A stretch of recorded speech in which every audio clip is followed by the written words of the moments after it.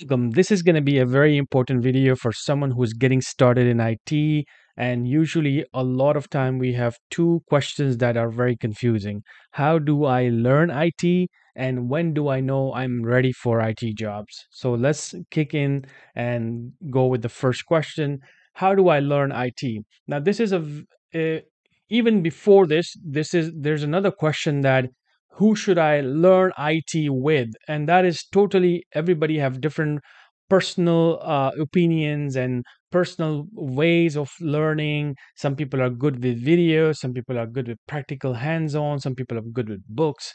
So it's really up to your learning style. And the, the learning style that we recommend and we promote is video and practical approach on specific job roles or for specific job roles. This means that if we are going to be uh, you know, promoting IT support, then it's going to be only for the IT support role. So then we're not losing that focus. I have seen so many members, they join our membership, then because we have a very large access such as IT support, systems administration, networking, and on and on and on, they jump around to different roadmaps, and that's very confusing. So, we like to basically tell our members that only target the role and the roadmap that you need to prepare yourself for, and that is where you're, you, it's going to become very easy for you to learn.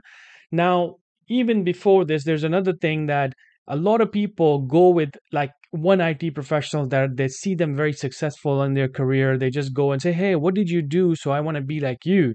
Now that's great. We're we're we are not saying anything negative about that. Somebody can give you information step by step, but at the end of the day, that IT professional is not a trainer. They're not skills development professionals. They are not experts in this area.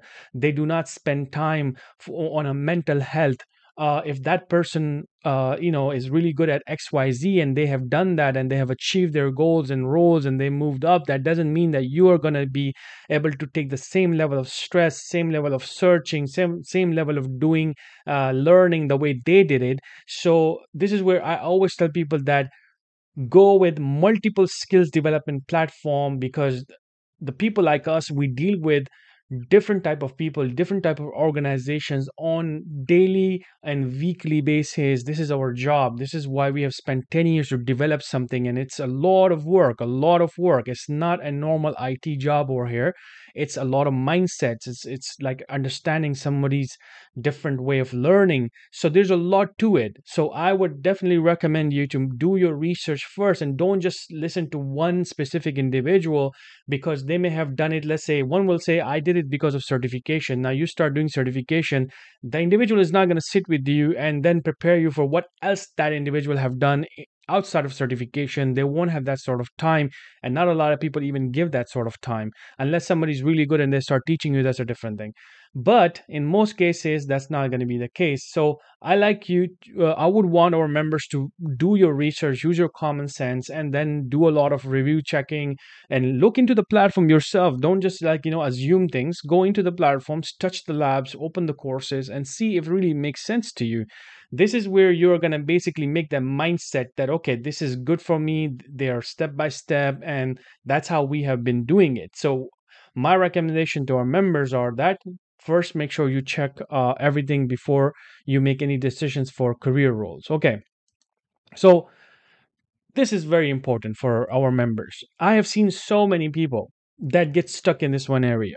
When they start learning something for it they want to learn every tiny miny details out there in the books in the courses in the videos and it is never ending thing. I will tell everybody over here that if somebody claimed that they have 20 years of experience no one can go back and say that i know every single thing that they have done in a plus 20 years ago almost 60% they would have forgotten those tiny miny details and some of some of it is irrelevant at this point so, my suggestion to everybody is that you want to go through things. Yes, you want to understand things, but there's a limit to it.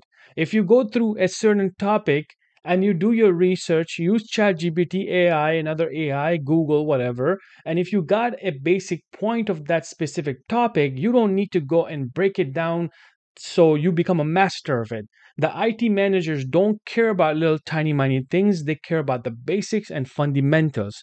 They value practical training that makes you easier to teach not a lot of people have time to come and sit and show you the theory and OSI model on the job. They think that you know this at the basic level, you understand things, you know the ba- basic uh, IP uh, configuration, you know how to troubleshoot computer, not at the master level again. Like a lot of people get stuck in this area. I've seen so many people that get into uh, learning and then they think that I need to know every single thing to be able to do my job. You you can do that every single thing to pass the exam if you want to, but again, nobody can claim that you need an A plus certification or a degree or even JSS training to land a first job. You can land a first job in many many ways. There are many doors to get into IT. So do not get into this trap of you learning every tiny miny single thing inside the computer that you need to become an IT professional and then you think how do i how will i basically uh, you know do my job? And that's where the next part comes in. When do i know i'm ready for it job? When do you know you're ready for it job is when you have the basic understanding of tell me about yourself. This is a question and you should be able to give them the basic answers that I know XYZ from the trainings. If it's our training, you will talk about it, like such as like, you know, installing operating system, managing Active Directory, troubleshooting operating systems, a basic software installation, and then server understanding, network, domain network management. Like, you know, for example, just you knowing what is a domain and what is a work group, what is the difference, Office 365 management. These are the things that you will cover from a practical courses. In our in our training, it takes three to four months for people to learn a lot of things but we never tell people that in that three to four months you have to retain every single thing that you have done in these labs. It's a lot of labs. That's going to be almost crazy uh, for someone to retain that sort of information. When you do this three to four months you're doing you're doing a repetitive work. You're doing repetitive tasks. And that is important for anybody that is new to it repetitiveness is a part of this career. If you do not believe in this if it annoys you i'm sorry to say you're in a wrong career. You are going to see password resets like millions of times, hundreds of times. You're to see troubleshooting same way again and again. You're to come uh, come across IPv4 and then DHCP, DNS type of things almost a whole career. Repetitiveness is IT. And you don't just go there and make your own IT things in this. Yeah, you may just connect two or three different techniques or softwares or troubleshooting in a different way but you don't go you just don't go there and make your own operating systems over here that's not what we do in IT you're going to do the things that are people have given to you people have done it before you and you're going to do it repeatedly again and again in different ways and that's where you become a master of it and one day you'll realize that you're so good that you don't need to read a lot of books. Once you go through something like documentation, you will understand the idea and then you will follow the documents and you will be able to perform that project. Sysadmins, network engineers, they don't just sit there and read the whole book before they do a project. They only understand the documentation the vendor have provided to them. How do we do this? We're not some like if somebody give me a brand new project and I have no clue about that project, am I that kind of superman that i would know everything uh, like because i've done all these tiny money training? No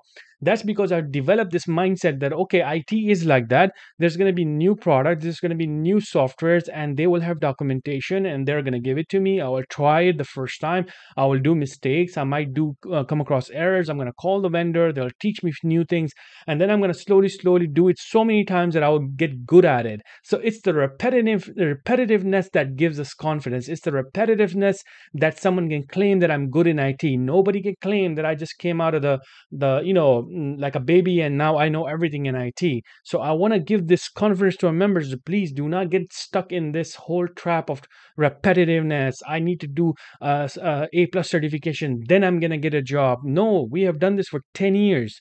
10 years is a long time and that's your job to go and do the research at how long we have been in this industry and then create the mindset and you have to go with it unfortunately if that mindset is not getting created and you are you don't believe in that sort of things then the things are going to be hard. Even if you get a job then again small things are going to give you uh, cause you a lot of trouble uh, going up in this career. And everywhere you're going to see that perfection you're going to see that mastery and this is not existed in it there, that may be a thing of the past but there's so many different products so many different skill set that no one can become a master of one thing in it you got to know the mixture and the mixture has to be done in a smart way. You know the basics you know the foundation then let just wait for the company to give you the the the softwares and everything and documentation they they will tell you what uh, technology to focus on when you get to that work. But of course, you should do what we have been going through for the past 10 years. We know Active Directory is required, Office 365 is required, uh, Windows 10 troubleshooting is required, and then going up in the networking and systems administration the same way. We, for the past 10 years, we have collected their data. We have worked with hundreds of hundreds of thousands of engineers, and we have collected their data. And that is again and again, it gets repeated, repeated again and again, and people are being successful like that. So if you're new to IT, these are the tips for you. I hope you took some notes from it and just go with your training first. And once you finish your training, the practical training is most important. Once you do that, you're going to become very confident. And then if there's something is bothering you, you do more research on it.